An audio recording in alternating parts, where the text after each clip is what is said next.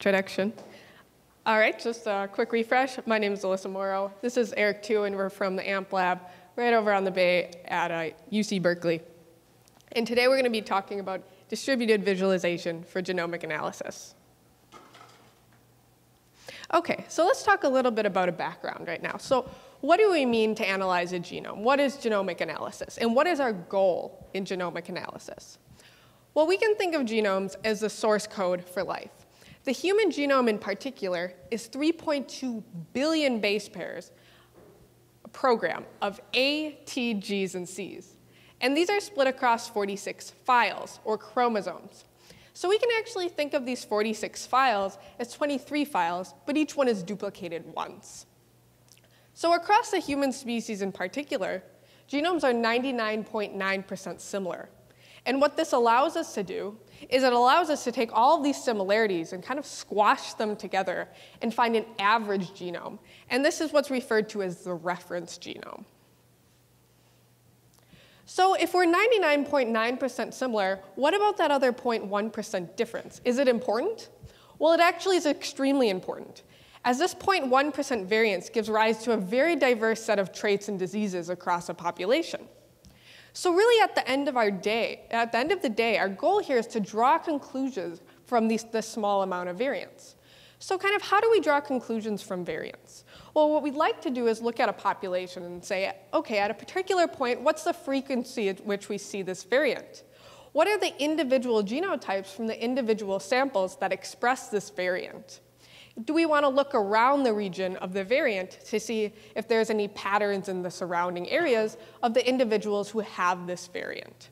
So this kind of workflow I've just discussed is a very great case for genomic visualization, as we'd like to explore the variants and the regions around the variants and the individuals that might, um, might have mutations at that point.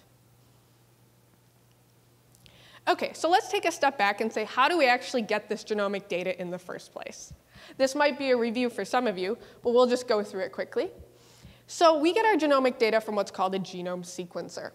And we can actually model this problem as a simple sentence. It was the best of times, it was the worst of times. So what we do is we take our DNA, or in this example, our sentence, and input it into a genome sequencer. And what we get as output is just a bunch of smaller subsequences of our original input. And we can see they're kind of overlapping in no particular order. So what we're going to have to do next is align these sequences to get some idea of what our genome actually looks like. So if the genome sequencer could take our DNA as input and output a perfect string in the correct order, none of this would be a problem, and we could just skip these steps. However, because we have these subsequences, we have to align them and have some probability for, at every given location, what base do we see? So the accuracy in which we can find a base at a given location is kind of reminiscent of the coverage. So the amount of replication at each sequence we see, that's kind of referred to as coverage. So higher coverage provides higher accuracy. And today, for only about $1,000, we can sequence a 30x coverage copy of your genome. Okay, so we have our genomic data. We've aligned our genomic data. What's the next step? The next step is to actually find the variants. So we've taken those subsequences, and we have our resulting alignment that we've aligned to that reference we talked about earlier. So now what we want to do is find where in this sentence do we find any variants. And what we see here from this example is that over on the worst, it looks like we have a variant from an O to a U. And because it happens four times, with very high probability, that is actually a variant. Okay, so we have our genomic data, we've processed our genomic data, so at the end of the day, what does this leave us with? Well, back in the early 2000s, we had the Human Genome Project, and this actually left us with only 10 gigabytes of data. This is very easy, today this can be very easily fit on a single machine. But if we fast forward to 2014, projects like TCGA are producing three petabytes of raw genomic data. And if we extrapolate out further, these projects are producing more and more raw data. And this is in the amount of samples and in the coverage that are making these, um, making these data sets larger. So if we have all this data, a question we can ask is how do we actually visualize it?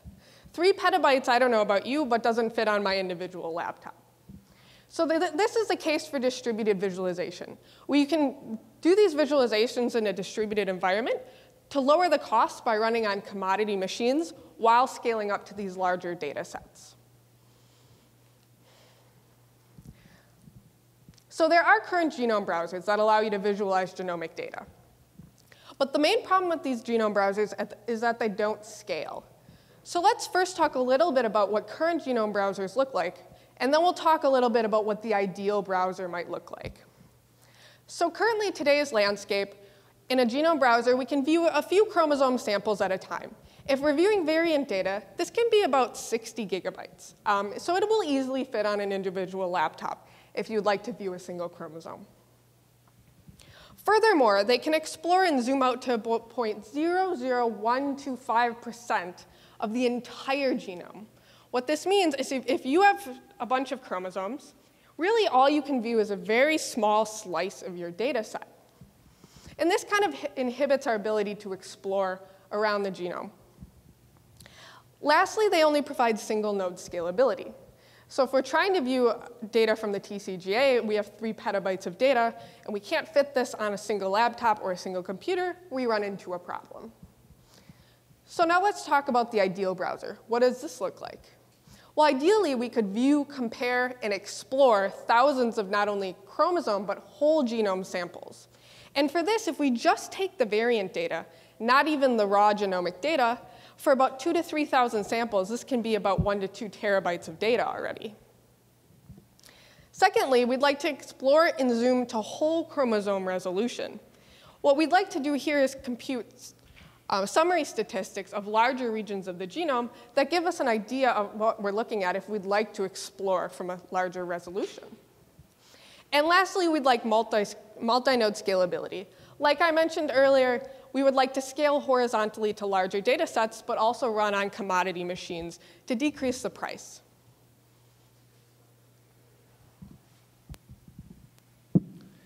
So in light of these shortcomings and the goals that Alyssa just pointed out, uh, we set out to make a genome browser that scales, and this is our work. Um, it's called Mango.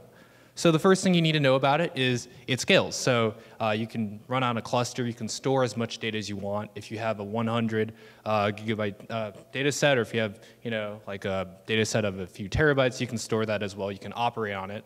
Uh, obviously, if you bring data into a distributed environment, you have additional computing power. So we can compute over much larger regions, and we can return that uh, information to you much faster.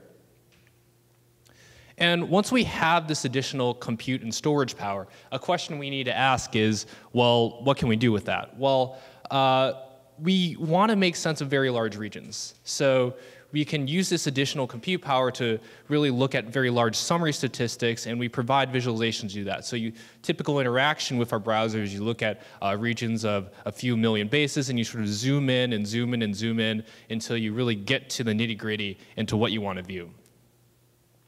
And lastly, the thing to know about Mango is we're built on existing analytics tools. So you can easily plug in Mango into uh, many other tools within the Hadoop ecosystem. And uh, we're built off existing open source technologies that have lots of documentation, make it very easy to develop for.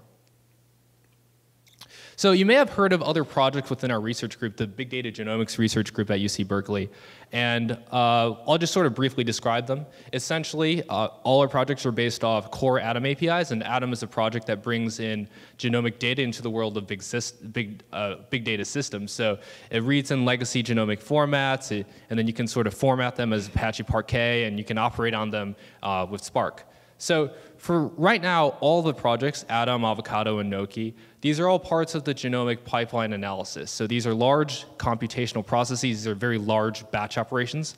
And we wanted slightly different goal, but we fit in right alongside that. Uh, Mango is, supports fast multi-sample visualization, where our workload isn't these large batch computational pipelines, but rather very low latency selective queries that we want to display and format for visualization.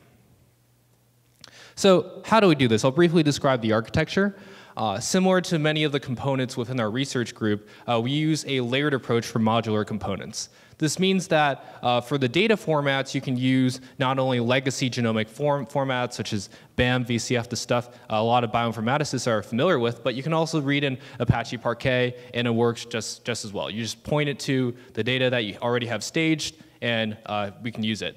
In addition, you can also sort of swap out the front-end component. While we think we've made lots of great visualizations, and we used D3 to do that, uh, you can sort of swap that out, and then Mango essentially just becomes a data servicing layer where it just returns you the data. You can choose what to do with it.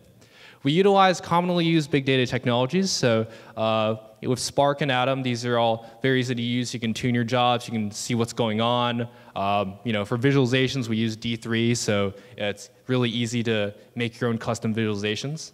Uh, Mango also runs both locally and distributedly, so there's no need to have tools uh, on your laptop if you just want to look at something with higher latency. Um, you know, you just want to look at a small file, you can do that it scales elegantly to the amount of storage and compute resources you have. So you don't have to do any parameter tuning, just boot it up and it should work. Of course, when you're doing low latency queries, Spark wasn't initially built for this, so we provide a lot of optimizations within the Mango architecture to have these optimized low latency selective queries, and I'll briefly go over them. So the goal with all these optimizations is to achieve interactive latencies on top of a Spark and ADAM, which is a batch-oriented platform. And interactive latencies we describe to be around 500 milliseconds, so you can sort of have uh, you know interactive um, interactions uh, with, with your browser. And we provide three different types of optimizations. The first is persistent store. So when you want to read in data sets, you want to read them into Spark, you pull them off persistent store first. So how do we reduce this initial overhead cost? Uh, once we read it into memory, how do we organize it in memories for we can have efficient access and compute on it? And thirdly, what is the type of computation that we perform on it, and how do we uh, make that efficient and meaningful for visualization?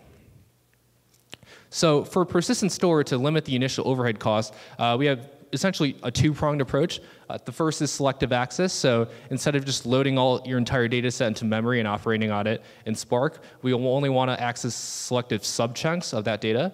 For Parquet and for ADAM files, we can use a, pred a predicate pushdown and projections to only fetch in the fields of data that we want and the data that specifies a given predicate, which is usually a range in the genome. And for legacy genomic formats, we don't really have the luxury of having predicate pushdown, but there are genomic indexes that we can use. And in addition, because what we make is an application, uh, a lot of times when users sort of browsing around, there will be periods of idleness. And during these periods, we can uh, sort of materialize regions of the genome so that when they actually view them, uh, they're already there in memory, ready to return. And right now, we optimize for a panning interaction, so it loads in the data from the left and the right. For memory optimizations, we also use a two-pronged approach. The first is something we call lazy materialization. And the rationale behind this is that uh, because we're only viewing small chunks of the data, not the entire genome, it doesn't make sense to uh, exhaust all uh, cluster resources. So we have this working set of data uh, based on user queries that we just slowly build up over time with the assumption that users sort of look at regions they previously looked at and won't really jump around. Uh, once we actually store all the data, we, we store it in a structure called an interval RDD. So an RDD uh, in Spark is basically Spark's default storage abstraction. It's, it's backed by an array. Uh, and that makes sense if you're loading in all the data. But for us, uh, we want to optimize for an operation called a two-dimensional range query. So you can think of this as, yeah, I have a given range, let's say 1,000 base pairs on chromosome 20, and I want to fetch all alignment records or all variants within this overlapping range. Um, we can use an interval RDD, which is backed by an interval tree that fetches this very quickly. And within the structure, we also store the data for multiple samples, so just right there where you need it. Okay, so the last type of optimization we made is computational optimizations. So once we've loaded all of our data into memory, how do we store it in a way that can provide low latency queries for a visualization setting?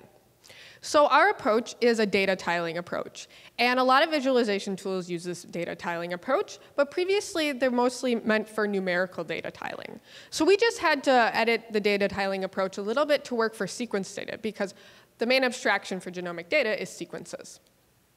So what we have here is an image of a six-layered approach, which is what we use. So at the very bottom layer, um, Here we view the actual raw data from the genome sequencer. So you can see down there at layer zero, we can view the actual raw reads of the data. And at every point in the genome, we can view every insertion, deletion, and mismatch at every single read. So on the next layer up, we can't exactly view all of the raw data. It's a little overwhelming, especially for the browser. So what we do is we calculate summary statistics at every given base pair in the genome. So at a given base pair, we can calculate what's the frequency that we see a certain mismatch. What's the frequency that we see a certain insertion or deletion? And that's what we display in layer one. The next four layers take a little bit of a different approach. They use a sliding window approach. So what we do is we just take a sliding window and compute an aggregate and run this sliding window across the genome to compute a bunch of um, a bunch of aggregates that give you an idea of what mismatches are at a given base pair. Okay, so we've run both local and distributed comparisons. Um, the local comparisons were mostly to um, provide parity against existing browsers. So this graph you see here is uh, the la latency of an existing, very, um, a very popular existing state-of-the-art browser, and it's run just on a local machine. The query pattern we use here is very um, indicative of most scientific visualization workloads. So we start from a zoomed out region of the genome and zoom in all the way to about 1,000 base pairs, and then we zoom left and right around the region of interest. So we can kind of see the spike in the workload um, of the latency, and this is basically the first point in which the genome loads data. So we get a little bit of spike of latency, and then it goes back to around two seconds. Note that the dashed line at the bottom is the interactive threshold. So this is what we'd like, 500 milliseconds for interactive resp response times. Okay, so here's our overlay with the results for Mango. We have a little bit of a startup overhead once you initially start up Mango, and we're working to drive those times down. But we can see it pretty close to, um, close to parity for existing browsers on a single machine. Note we're still far from the 500 uh, millisecond latency. However, um, Mango isn't necessarily just intended for a single, a single node, as we will see in the next slide. Okay, so our next question was how does Mango actually scale? And this is run on the 1,000 genomes variant data. So this was about 2,500 samples, and these queries are run just on one chromosome of data. Um, just like the local, uh, the local slide, we still have some overhead on the startup, but we can see past eight cores, we start approaching interactive latency we see that it kind of starts flattening out from 32 to 128 cores. This is kind of due to a bug in Spark that we're looking to uh, fix. But once we fix that, fix that bug, we, um, we think that the scalability will um, scale out a lot nicer. So.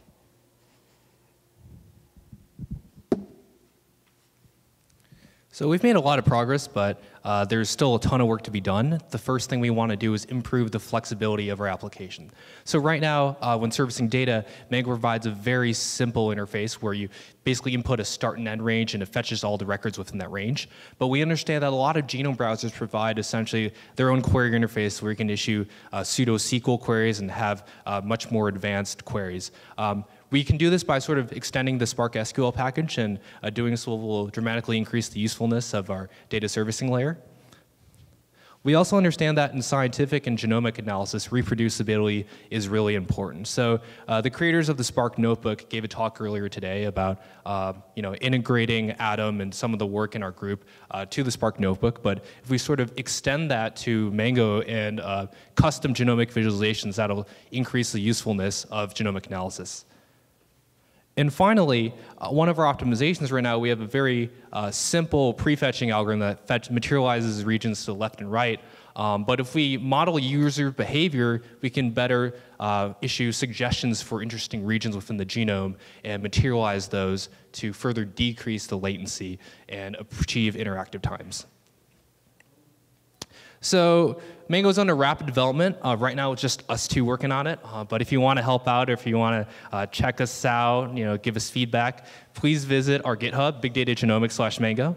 And if you want to look at all the other projects developed in our research group, uh, go to bdgenomics.org. So thanks for listening, and now we're open to questions.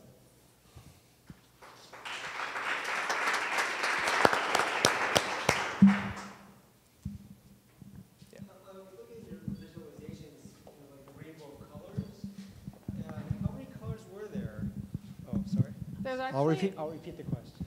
Oh, Uh, I was looking at your visualization of colors, and I was wondering how many colors were there? on this graph right here. Or this. Yes. There's actually only four. Really? Yeah, uh, A, T, G, and C. Um, oh, I guess six. So we have a color for uh, in- insertions and deletions. Um, but this is at a pretty large range in the genome, so some of the colors kind of merge together. Uh, and also, I was wondering what the value of the vis- visualization was, because you know there's a lot of data to take in. Do you, are you trying to take advantage of the human ability to pattern match? Yeah, so um, there are cases uh, in, in which people use visualizations when they already know what they want to look for. So in that case, I wouldn't recommend Mango. I would recommend a local machine where you have a specific point query. So yeah, uh, it's the ability to pattern match and the ability to explore. So what we wanted to support is those point queries on large data sets as well as zoomed out regions. So it is, it is, um, it is depending on the individual's ability to pattern match. But if, if we keep trying to abstract that uh, process, it often turns into a terminal. You know, so it's, it's a very uh, fine line between allowing the user to explore and then uh, just you know cre- creating a command line uh, interface that people can use. Um, but yeah, I, I, do think we could do more in pointing users in the correct direction. We've looked at uh, mo- user modeling and data modeling um, algorithms that can actually refer users to specific areas based on what they've already viewed. We just haven't implemented them yet. So. Cool. Just a quick question. Uh, thanks a lot for a great talk. Um, I might have uh, misunderstood the problem that's being solved, but um, have you found a need to re-implement, you mentioned a range tree on the client in the JS, or is it more, um, it, you know, the query small enough to just send to an individual client uh, every time? Uh, right now, all we have is sort of backend that, that sends it to the client every time. But we're working to, um, like you said, sort of cache the results on client. So you, you, uh, you sort of short circuit that round trip time back to the server. Thanks. Great. Well, uh, thanks a lot.